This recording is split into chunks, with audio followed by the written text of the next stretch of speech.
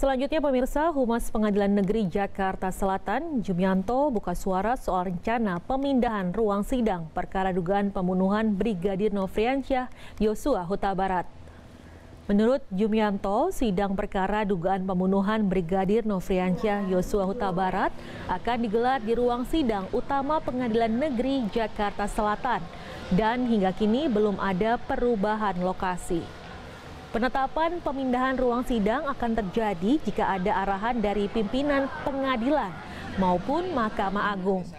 Meski demikian, Jiamto memastikan pihaknya siap apabila sidang tetap digelar di Pengadilan Negeri Jakarta Selatan. Ya, kalau ruang sidang tentu eh, sampai hari ini belum ada perubahan ya yang ada di Pengadilan Negeri Jakarta Selatan ini kecuali nanti kalau ada petunjuk lebih lanjut dari pimpinan maupun dari Mahkamah Agung.